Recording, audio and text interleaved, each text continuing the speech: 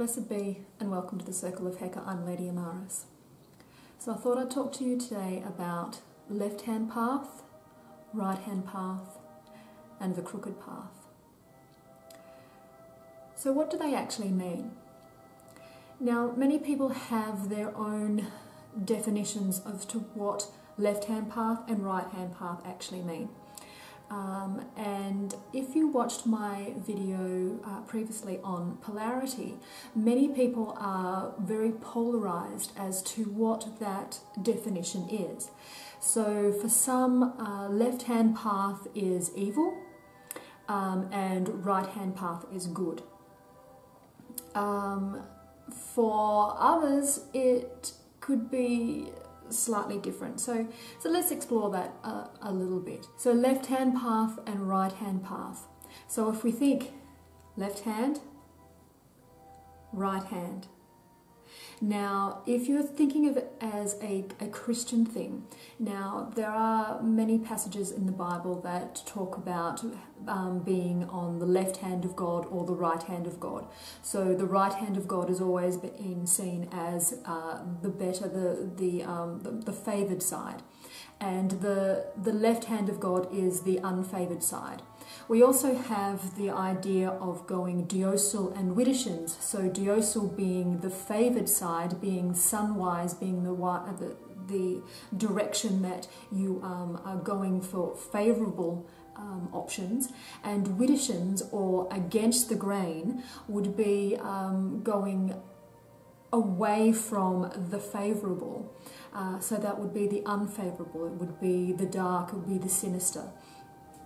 And as we've spoken uh, about before, when it comes to uh, many, many people see it as dark and sinister and bad, and also the, the fact of the colour being black.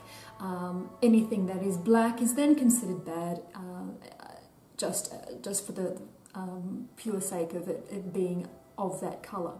So we have um, the the sinister side, the the side that goes uh, against the grain, and this is where we have the idea of what the left hand path actually is going against the grain, going against the norm, going against what uh, society is actually uh, deemed being the right. So. Uh, let's say you have a um, a group of people who say that eating red apples is the only way that um, you should go. If you eat green apples, then oh, you, that's bad. That's you know, green apples will give you a stomach ache. Um, you are then um, going against uh, the decree uh, of the land that everyone must eat uh, red apples.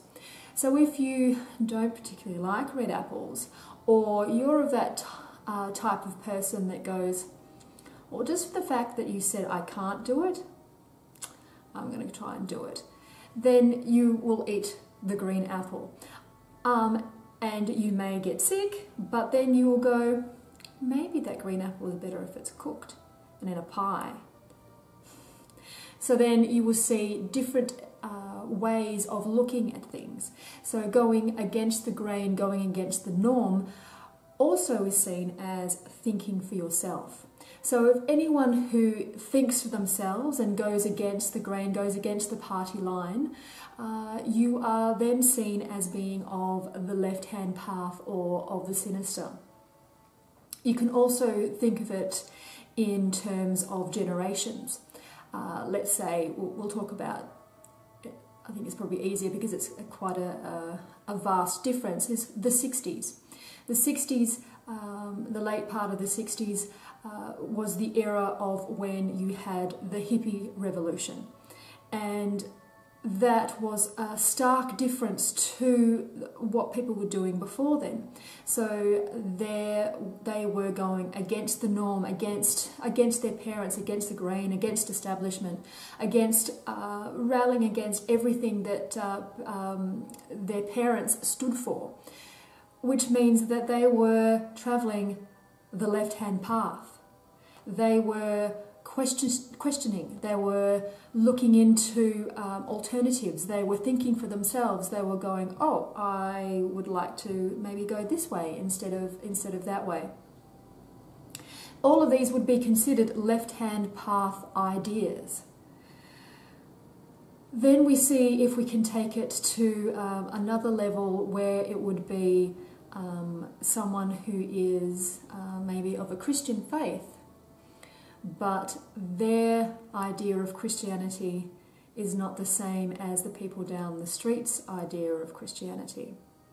So, um, if they are looking at it from their point of view, they are the right, they are the, the good, they are the right hand path, and the people down the street are the bad, the left hand path, the wrong. So there's there's a way of seeing left hand path, right hand path is in, in an in an idea of ideals and ways of doing things. Um, what's right for you may not be right for everyone else.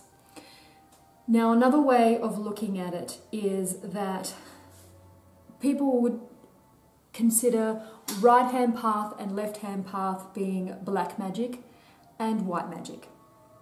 So, black magic, left hand path, white magic, right hand path. Again, we, we get into that stumbling block of uh, black magic and white magic are two polarities two uh, opposites of exactly the same thing.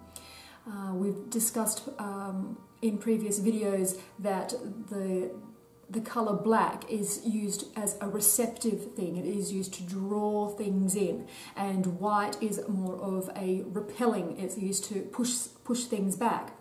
So if you are doing um, black magic, um, you could be using a black candle to draw something in.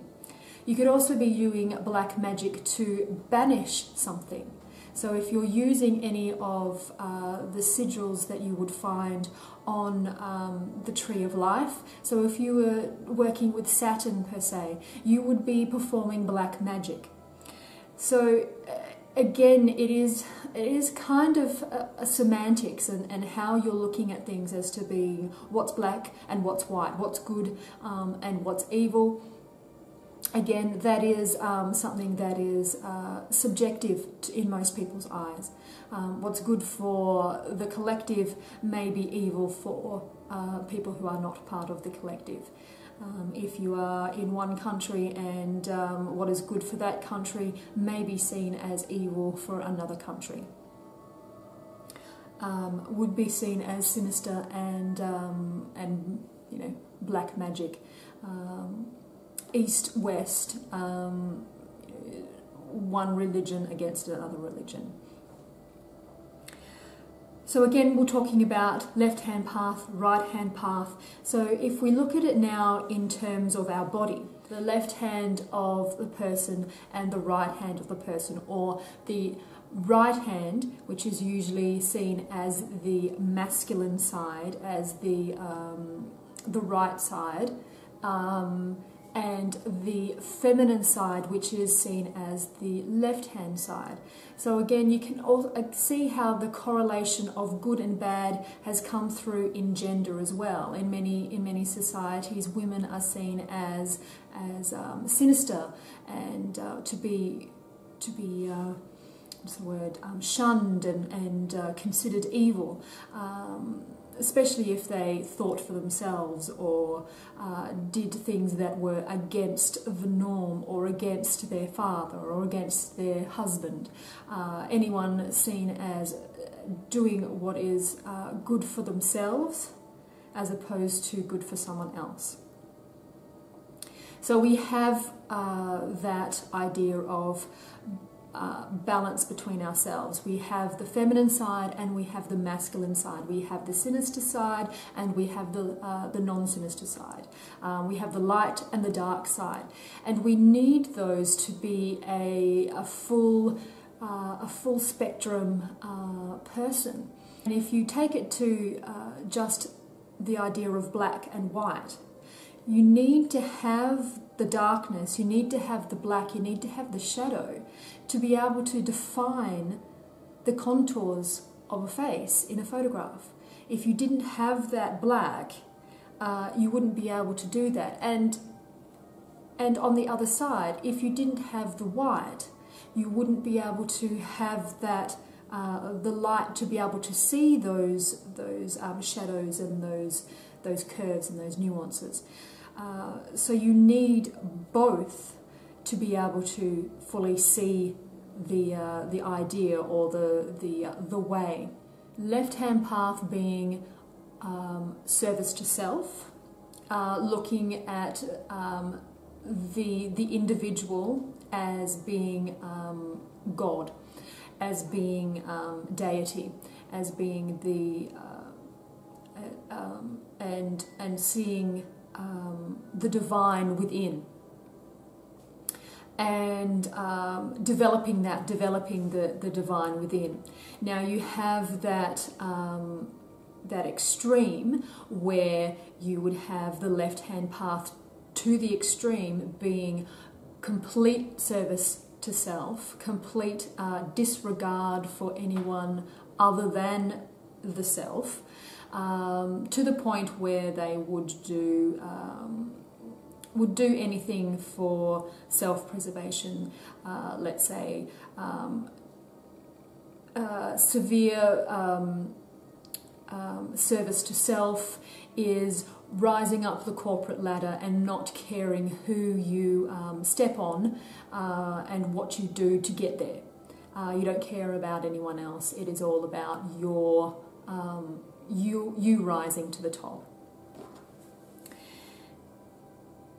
And if you think of the right hand path, the right hand path would be seen as uh, seeing the godhood or deity a lot of the times uh, being on the outer, being in the rocks, in the trees, in, in the sky, um, in, the, in the land. Um, so it being everywhere that, um, that is not inward, it's been on the outer. So the the right hand path would be deity on the outer, deity um, in the um, exoteric, as opposed to the esoteric being on the inner. And many religions have taken on this concept of God or deity being on the outer, being um, being removed from from the self, um, and sometimes to a point where you have uh, the you, you have an intermediary, which is the priest, um, and then you have uh, deity, to the point where that is that so far removed um, and so far on the outer. And that would be to the extreme extreme, uh, where you, um, in that case, is that it is uh, you have no consequence. You um, are just um, almost a pawn in uh, deity's big plan, and um, it doesn't matter what happens to you. You sacrifice yourself and martyr yourself uh, for the cause of, of deity, uh, of, or what you perceive that cause to be. And uh, you have no, let's say, self worth because it is all about union with God, union with um, the, the outer, this perceived outer. Uh, and and to that purpose, you you nullify yourself, um, and that is on that is the extreme of right hand path. Now we also have the crooked path, the winding path, the uh, the twisted path. This is the path that um, say that winds between the left hand path and the right hand path, forging, forging its own path. Now, I talked about uh, in my previous video in polarity about how polarity is the extreme and how. So, your idea is to get as close to the center as you can to become balanced. Now, this isn't going to happen. And I did say that being in the center, being in that zero point, isn't the ideal. Uh, you need to um, move from side to side, if you will, um, being as close to center as you can, but not being in center point and stagnation. You still need to move, you still need to, to go forward. But how that movement goes uh, is, is the trick. Uh, you want to be able to be center so that you can see both sides. If you are polarized, as I said, you are in the extreme, and there's no way that you can see all the way to the other side to see the other's point of view. But the closer you are to center, closer you are to balance, the easier it is for you to be able to see the other's point of view, to see and grasp and understand the other side. So if you walk the crooked path, the twisted path, sometimes you're on the left hand path, sometimes you're on the right hand path. You are twisting and moving, and you are forging your own path. You're forging your own path where at times you will look after yourself. Now, that's not in a, a selfish way because we are not to the extreme. We are looking after ourselves in, in the way of let's say, in, in a mundane way. We're looking after ourselves by making sure that we eat the right food, that we get enough exercise, that we are stimulating our, our minds um, and keeping our bodies um, healthy. So that would be seen as um, a left-hand path thing to do because you are catering for your own needs, you're catering for the self. Now there are times when you would be in the right hand path where you would be catering for another's needs. You would be catering for the for the outer uh, making sure that someone else was okay whether it is um, members of the family or um, whether it is the person down the street. Um, it could be the homeless person that you that you met and you um, gave them um, you know, a cup of coffee and um, some some money so that they could uh, have a, a warm bed for the night. Um, it's that sort of thing which would be seen as right hand path because it's seen as as good and um, charitable, but also the fact that you are looking to the outer. You are you are doing something on the outer. You're not doing something for the inner for your, for yourself. So is that winding between the two paths. Sometimes you will be catering for yourself, and other times you will be catering for others. But it, it is that balance that is achieved, that black and white, that positive and that negative, the, uh, the left hand and the right hand. We need the left hand and the right hand to be balanced. Um, now, if you have to do everything with your right hand, then you are seen as unbalanced. Everything is on one side. Everything is, is leaning to the one side, and you aren't uh, you, you aren't balanced. You aren't centered. You don't have the ability to be able to use one hand for one thing and another hand for the other thing. Something that it is. Um, more inclined to um, the left hand, you would use your left hand. Something that's more inclined to the right hand, you would use that. But when you only have that one path, all things must try and filter through that path, and not all of them can, and that means that you become unbalanced.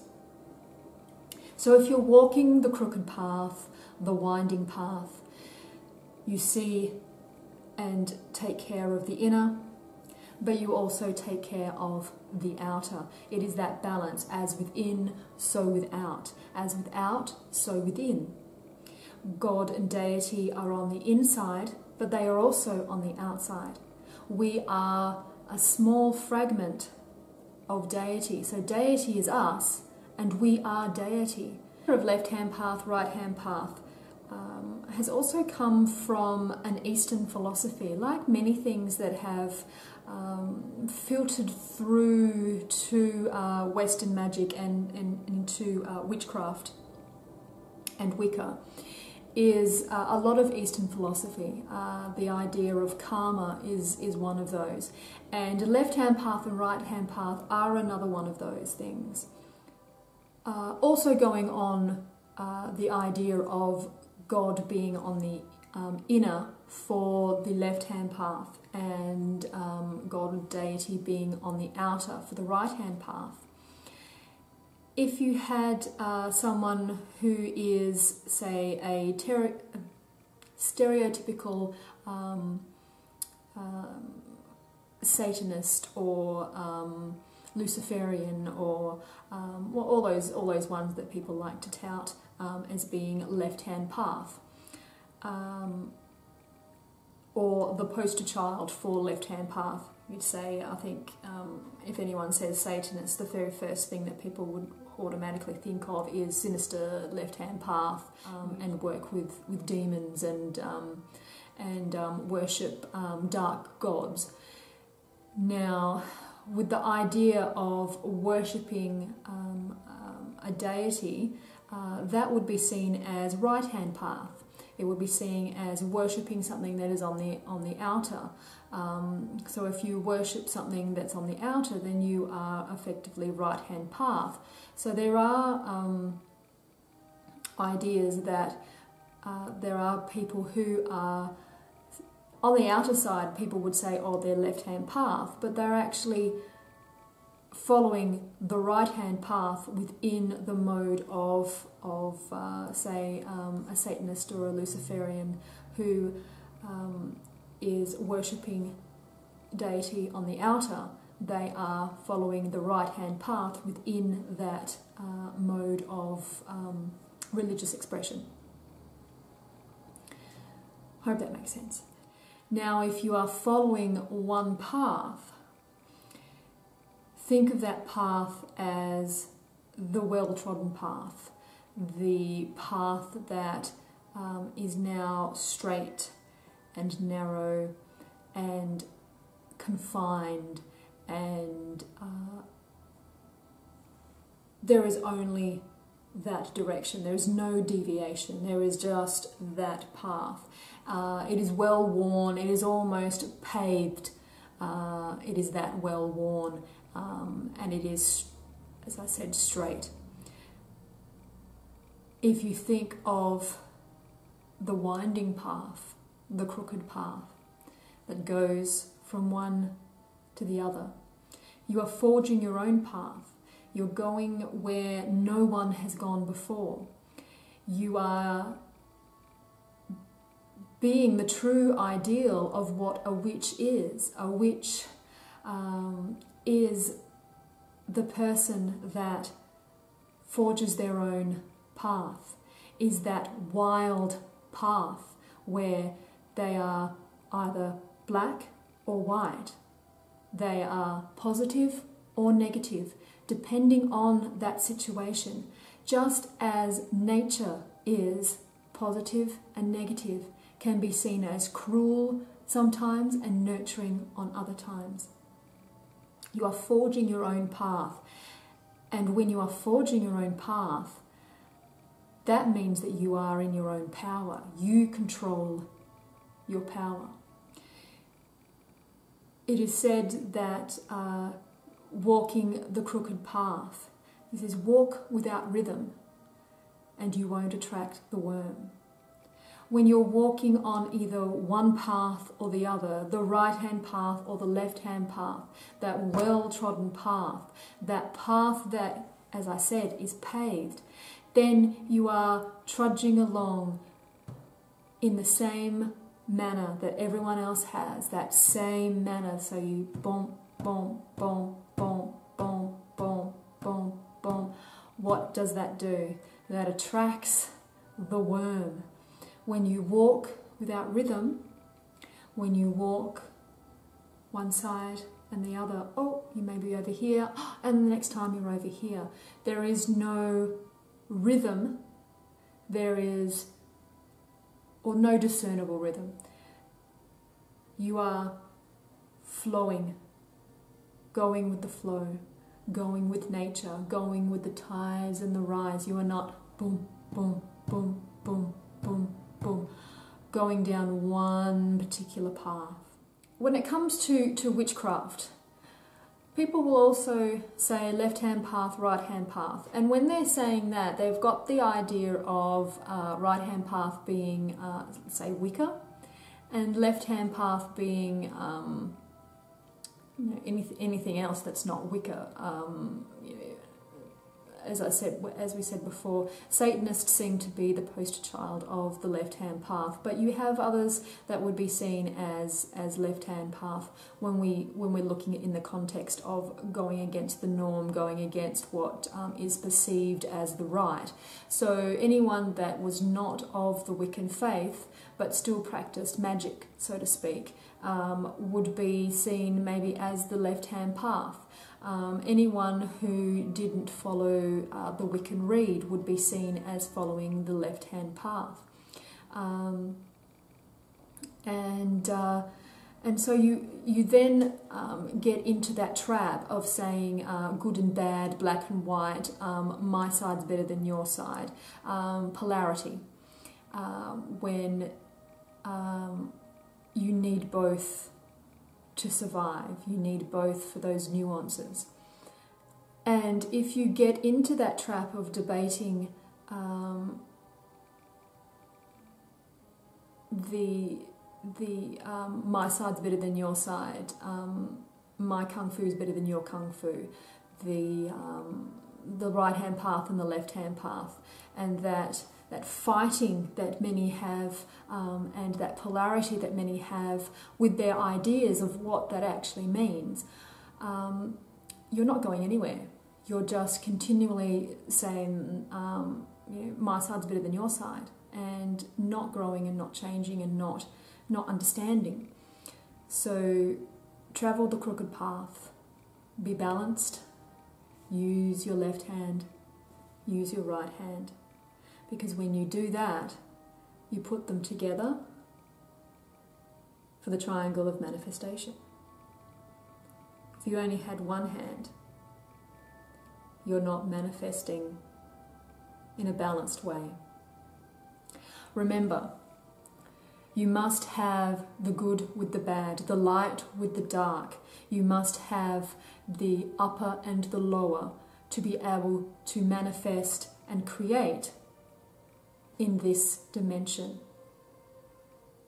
You need the two to make the one. Blessed be.